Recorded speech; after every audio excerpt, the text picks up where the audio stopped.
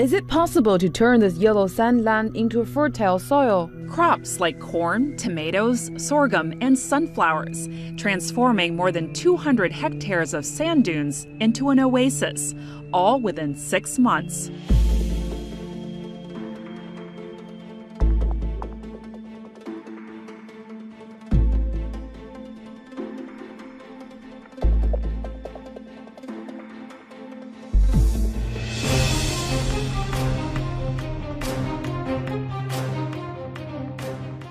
If any, rain and scorching temperatures.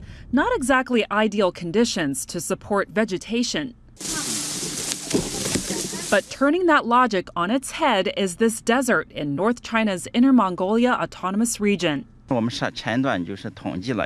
According to our calculation, there are over 70 kinds of crops growing here. Many are not planted by us, but they just grow themselves. Crops like corn, tomatoes, sorghum, and sunflowers, transforming more than 200 hectares of sand dunes into an oasis, all within six months.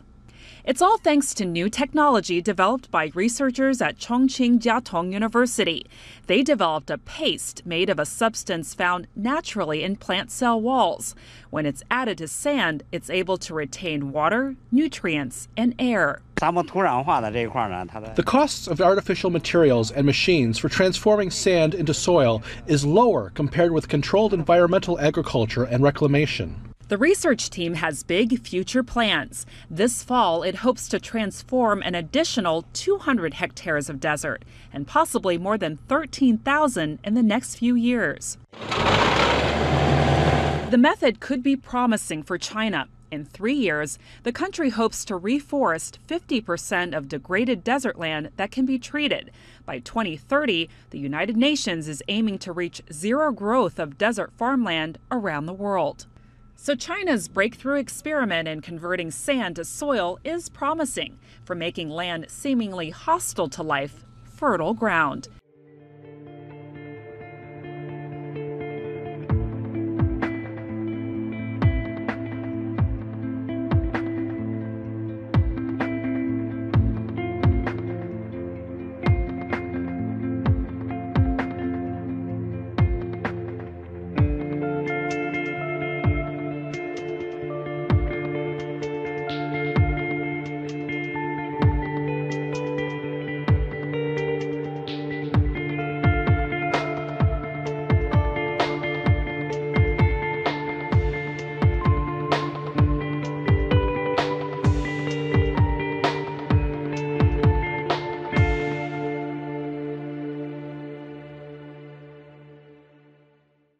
Zhao lives near the desert. He has a new job working in a solar power station. For thousand years, there's nothing here but sand in the middle of the Kubuqi Desert. And now, this is one of the largest solar power stations in northwest China, and uh, it only took two years to build this oasis here. The solar power station generates 500 million kilowatt hours every year. It also generates income for local people. We've hired local people for construction and maintenance work. They also become shareholders by leasing land to us. I used to earn two to three thousand yuan a year. Now I get paid forty-eight thousand yuan a year. It's a big difference. This is an example of the desert economy in Kubuqi. It's part of the efforts of a private company called Elion to roll back desertification. The core of it is to balance the relationship between government, enterprises, farmers, and ecological environment. Raising the income of local people is vital to the success, and the environment is also benefiting. The sandstorms are much fewer, and the movement of the sand dunes has also slowed. Various ways are being developed to improve efficiency and reduce cost, like reserving 40 days of water for a tree and planting licorice that sells for around 10 yuan per kilogram in the market. The ecological management in the desert must be economical and respect nature and market rules. The desert economy model in Kubuqi has turned 6,000 square kilometers of desert green, created 500 billion yuan in value, and helped 100,000 farmers out of poverty. We believe this is a model that can be replicated, that can have multiplier effect, and it can be replicated everywhere in the world where we have the right kind of building blocks, what are here. Desertification affects over a fifth of China's territory and a third of its people.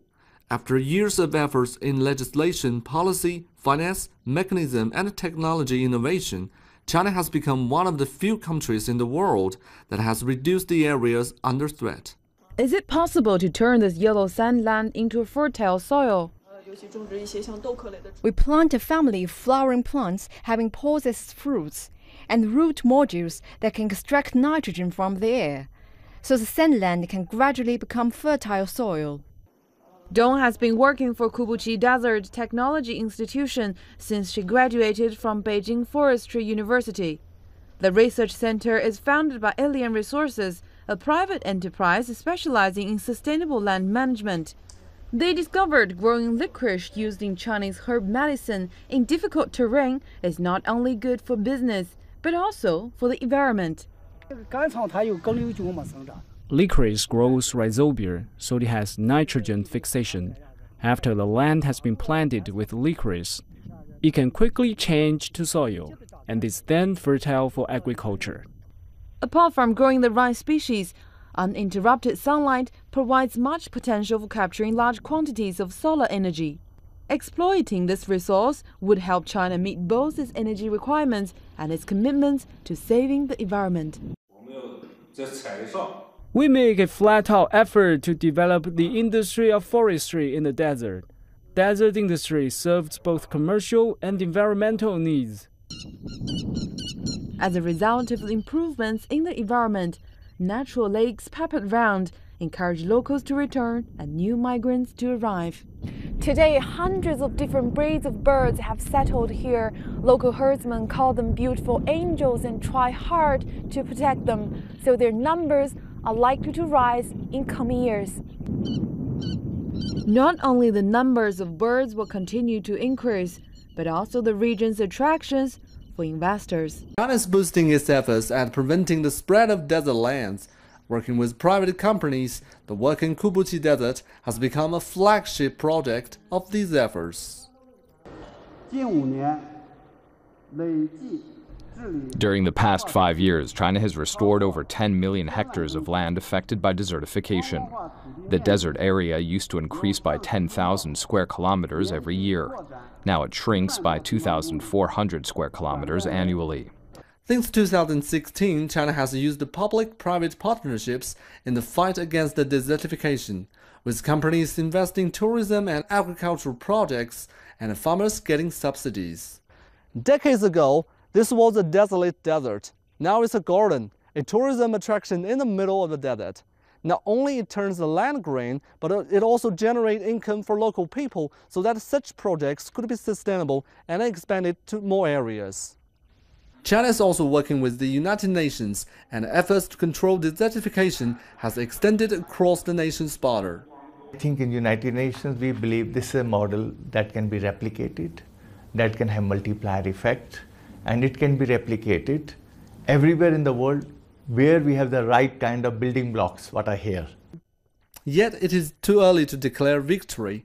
China has one of the world's largest desert areas One fourth of the nation's territory is affected by desertification. 95% of that is along the Belt and Road economic zone that the country strives to revive. It requires great efforts to turn desert into green land, yet it will require more to keep it this way. 刚开始的时候呢，可能是觉得这个在这个这样的一个环境里种地啊，或者是进行农业的操作呢，是一个商业机会。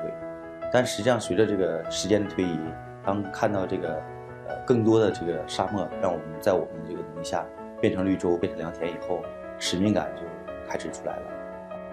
能够把沙漠变为耕地，那这件事情本身的意义和价值，就一定会在未来凸显出来。到目前为止，十五项专利。四项发明，因为我们会从企业的这个维度来去考虑如何来种地啊，如何来解决农业的。嗯，一三一四一五的话，我们对应的发展速度是五十亩、五百亩、五千亩。当五百亩的这个呃一片良田产生，然后绿油油的，这个老百姓开始相信。当到五千亩的时候，老百姓已经开始追随。